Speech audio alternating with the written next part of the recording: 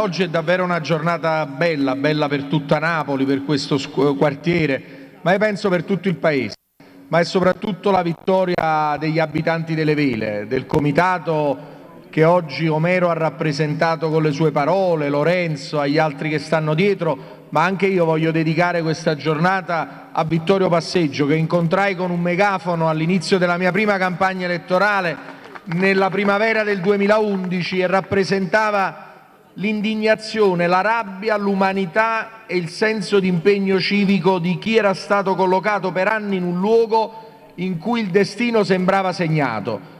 Io credo che non so quanti possono capire che significa rimanere a vivere in queste case mantenendo la dignità, mantenendo l'umanità e mantenendo anche l'onestà. Quando la narrazione mondiale ti vuole far vivere nell'equazione vela è uguale Comorra, vela è uguale Camorra. Noi sappiamo perfettamente che la Camorra c'è a Napoli, c'è a Scampia come sta negli altri quartieri, come le mafie ci sono in tutta Italia, ma io credo che bisogna ringraziare queste persone che lasciate nel degrado per tanti anni hanno lottato per la giustizia, per i diritti e per una Napoli migliore. Io sono davvero orgoglioso che come amministrazione siamo giunti fino a qui, non è stato facile, voglio ringraziare in tanti l'Agenzia della Coesione che è oggi presente, Asia che ha fatto un lavoro enorme, la DD Costruzioni dell'impresa che con grande passione sta lavorando, il fatto che abbiamo voluto mantenere l'impegno delle clausole sociali perché a Napoli il lavoro è un diritto ancora non per tutti e quindi questi cantieri devono significare anche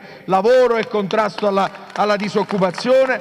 Questo è un impegno che l'amministrazione ha preso cercando di non lasciare mai indietro nessuno. Sappiamo che è difficile, oggi non è un traguardo, però è un momento importante, guardate, non è un momento come un altro. Qui c'è tanta lotta, c'è tanto impegno c'è tanto lavoro insieme. Io solo credo di aver fatto non meno di 60-70 incontri con queste signore e con questi signori. La democrazia partecipativa significa metterci la faccia, quando c'è la contestazione e quando c'è la gioia, quando c'è il conflitto e quando c'è la festa, quando ti criticano e quando ti applaudono. Io sono fatto così, noi siamo fatti così e voglio ringraziare tutta l'amministrazione, Omero, Lorenzo, lo sapete, se stiamo qui non è merito di una persona, è merito di una squadra e quando questa città è unita non è seconda a nessuno. Quindi oggi dedichiamo tutti quanti insieme a voi questa vittoria che non avete mai mollato e a Vittorio nella speranza di poterlo avere di nuovo insieme a noi con quel megafono in mano.